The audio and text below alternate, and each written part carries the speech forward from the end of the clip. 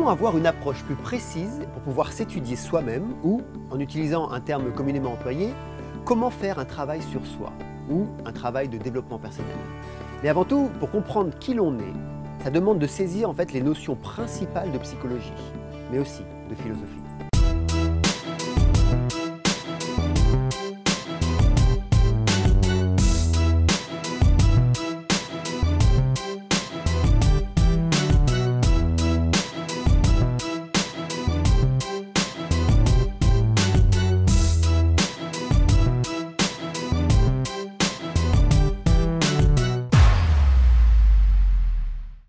Bienvenue dans Just for Sharing, juste pour partager notre rendez-vous du lundi où nous abordons des sujets tels que la psychologie, le développement personnel, la productivité, l'émergence spirituelle et le coaching. Et aujourd'hui, c'est de philosophie que nous parlerons. Je m'appelle Mika Denisso, je suis formateur, coach holistique et le fondateur de Soul in Mind.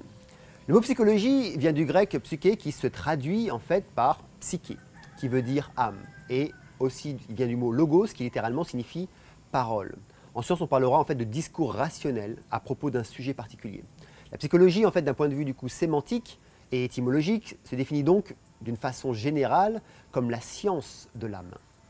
Le mot philosophie, lui, vient des mots grecs, philienne, qui se traduit en fait par aimer, et sophia, qui signifie la sagesse. Donc littéralement, l'amour de la sagesse. La philosophie, donc, je dirais aussi d'un point, euh, point de vue sémantique et étymologique, se définit donc d'une façon générale comme un questionnement, une interprétation, une réflexion sur le monde et l'existence, humaine. Alors de multiples définitions de l'âme ont été données, je dirais, au cours de l'histoire humaine. Et aujourd'hui encore, les conceptions de l'âme sont très loin d'être, euh, homogènes et, et, diffèrent considérablement selon les écoles de pensée ou les méthodes d'étude. Cependant, on peut dire qu'il existe deux grandes méthodes pour étudier l'homme. La méthode qui consiste d'abord à considérer l'être humain comme un objet matériel, objet que l'on peut mesurer, disséquer, peser, analyser, comparer, etc. C'est la méthode dite euh, scientifique que nous connaissons bien. Et dans cette démarche, on étudie l'homme en tant que euh, phénomène physique, c'est-à-dire en tant qu'être matériel, comme on étudie euh, d'ailleurs tout phénomène physique dans l'univers. La psychologie se, définit donc dans ce contexte comme, je dirais, l'étude de ce qui, dans la conduite humaine, est matériellement paramétrables et quantifiables. Ces paramètres sont exclusivement d'ordre matériel, c'est-à-dire physico-chimique. La technique, les statistiques, les mathématiques sont d'ailleurs euh, abondamment utilisées. L'autre méthode consiste à considérer l'homme non plus comme un objet matériel, mais comme un sujet au sein duquel se déroulent plusieurs processus tels que les émotions et les pensées que l'on ne peut pas réduire aux seuls paramètres biophysiques euh, qui jouent un rôle déterminant dans les comportements humains individuels et collectifs. La seule méthode pour étudier l'homme en tant que sujet est la méthode dite de l'introspection. Socrate, euh, d'ailleurs, dans son adage, l'avait très bien résumé. Connais-toi toi-même. Car seul le sujet lui-même peut connaître ce qu'il est, ce qu'il pense, ce qu'il éprouve. Aujourd'hui encore, euh, aucune méthode scientifique ne permet de connaître les ressentis ou les pensées d'un autre, pour notre plus grand bonheur d'ailleurs. Alors, cette méthode dite de l'introspection n'est malheureusement toujours pas utilisé et enseigné dans nos écoles et en université. L'approche universitaire actuelle laisse donc de côté, dans ses études, ce que finalement s'avère le plus important pour comprendre l'homme, c'est-à-dire l'analyse approfondie des pensées et des émotions humaines, de leur origine, de leur loi, euh, de leur nature et de leurs valeurs. Intéressons-nous, je dirais, aux approches universitaires.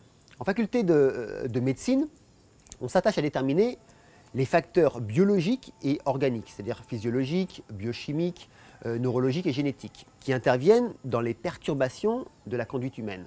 En particulier, des disciplines comme euh, la psychiatrie ou la neurologie se sont spécialisées dans l'étude et le traitement physique des perturbations du système nerveux central et aussi du euh, cerveau. Le cerveau est alors considéré comme une structure biophysique et une structure biochimique qui est responsable en fait du comportement. Certains dysfonctionnements du cerveau sont euh, matériellement identifiables. Euh, les lésions du cerveau, les tumeurs, des équilibres biochimiques, et par conséquent sont corrigibles. Et sont corrigibles matériellement par la neurochirurgie et la chimiothérapie. Il existe donc en fait une approche proprement et strictement médicale du comportement humain. L'approche psychiatrique et neurologique dont la base, je dirais, est biochimique et physico-chimique, les thérapies pharmaceutiques et chirurgicales. En faculté de psychologie, L'approche du comportement humain ne consiste plus à rechercher, comme en médecine, les facteurs biophysiques, neurologiques, biochimiques et génétiques. Ils sont impliqués en fait dans l'apparition des troubles organiques qui engendrent en fait des dérèglements et des anormalités de comportement, mais à déterminer toute une série de facteurs également, je dirais d'ordre matériel et quantifiable, mais non médicaux. L'étude de ces facteurs euh, euh, matériels non médicaux a donné naissance à quoi? A donné naissance à plusieurs disciplines. Et ce sont ces sous-disciplines que l'on enseigne actuellement en faculté de, psychologie. Toutes ces sous-disciplines reposent cependant sur les sciences de la matière, sur la chimie, les mathématiques, la physique et les statistiques, et aussi la biologie, qui sont elles aussi enseignées en faculté de psychologie, puisqu'elles en constituent les sciences en fait, les sciences de référence. Et là, la boucle est bouclée. Toute cette approche physique, euh, biochimique et statistique de la psychologie est bien évidemment intéressante et aussi nécessaire et fort bien enseignée dans nos universités. Mais il y a un immense champ de questionnement, d'investigation et de recherche qui, que je dirais relatif à la psyché humaine, à l'âme, ses motivations et sa conduite, que cette méthodologie euh, physiologique et statistique ne peut atteindre et ne pourra jamais atteindre. Et qu'elle laisse en fait par conséquent délibérément et intentionnellement de côté. Pourquoi? Ce champ d'études et de recherche est repris et traité par une autre discipline euh, de connaissances rationnelles, utilisant en fait d'autres moyens que les méthodes de mesure des quantités matérielles, qui constituent en fait la seconde approche de la psychologie, celle dans laquelle nous nous inscrivons, nous, à Soul. Une psychologie jungienne et transpersonnelle qui intègre clairement la dimension spirituelle de l'humain. C'est une psychologie dite holistique. Et de par sa dimension holistique, cette psychologie est absence des enseignements universitaires actuels. Encore une fois, pourquoi? Voyons à présent, pour avoir une vision globale de l'étude de l'homme, l'approche philosophique de l'âme humaine. Les questions relatives en fait, à la conduite humaine ne se posent plus ici en termes de physique ou de statistique, mais en termes d'éthique et de métaphysique, posant délibérément et intentionnellement les problèmes de la liberté, du bien, du mal, euh, de la destinée humaine, du sens de l'existence, du rapport à la souffrance, euh, à la mort, à l'autre, à l'amour, à l'inconnu, à Dieu. Car si la conduite humaine est incontestablement influencée par des facteurs d'ordre matériel liés aux conditions du milieu interne et externe, la considération de ces seuls facteurs est loin de pouvoir rendre compte du phénomène humain, et de ça dans sa totalité. C'est pourquoi il est indispensable de considérer l'influence de facteurs d'un tout autre ordre, facteurs qui ne sont ni d'ordre physico-chimique ni d'ordre statistique, mais bien d'ordre éthique, valeur morale. La question morale est en effet au carrefour de tous les comportements, de tous les comportements humains. Que dois-je faire? Qu'est-ce qui est bien? Qu'est-ce qui est mal? La réponse, en fait, à ces questions est une opération intérieure, un acte déterminant du sujet. Le choix éthique n'est pas une réaction chimique, irréductible à tout, autre facteur. Et c'est bien cet acte du choix qui détermine finalement le comportement et la conduite, heureuse ou malheureuse en fait, de l'être humain. Le problème de l'éthique, la question du bien et du mal est un questionnement rationnel, un questionnement incontournable qui s'impose de façon naturelle à l'intelligence humaine. Exclure de l'étude de la conduite humaine les problèmes d'éthique, comme c'est le cas actuellement euh, dans nos écoles, restreint considérablement la compréhension des comportements en fait physiologiques. Autrement dit, l'étude des questions morales et surtout des conditions de leur résolution est une partie essentielle et indispensable de la psychologie en tant que science du comportement.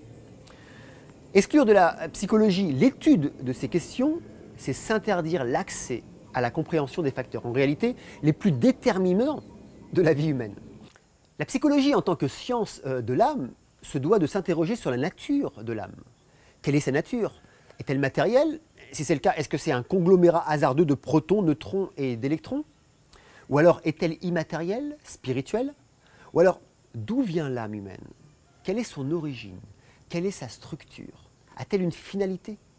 Plus largement, euh, toutes ces psychés humaines, ces âmes humaines ou animales, ont-elles une finalité Et ces univers dans lesquels sont immergés tous ces êtres, ont-ils eux aussi une finalité? Quelle en est leur origine? Et puis ultimement, Dieu existe-t-il ou le monde s'est-il créé tout seul? Comment le savoir? Car il est bien évident que la réponse à ces questions a une incidence sur l'âme humaine, et donc sur la psychologie qui en est en fait la science. La psychologie pose donc des problèmes qui sont fondamentalement d'ordre philosophique. Ces aspects essentiels de la psychologie ne sont plus traités dans le cadre de nos écoles et dans l'université, comme c'était le cas autrefois. C'est pourquoi il est nécessaire d'inventer des structures d'enseignement alternatifs et complémentaires qui se proposent en fait de les étudier en tant que telles. C'est d'ailleurs un des objectifs en fait des formations de Soul in Mind, tenter de répondre aux questions philosophiques qui sont posées par la psychologie et d'enseigner ce que nos écoles auraient dû nous enseigner en priorité. En résumé, il existe deux grandes méthodes pour euh, étudier l'homme. L'étude de l'homme en tant qu'objet matériel que l'on peut mesurer, peser, comparer, disséquer.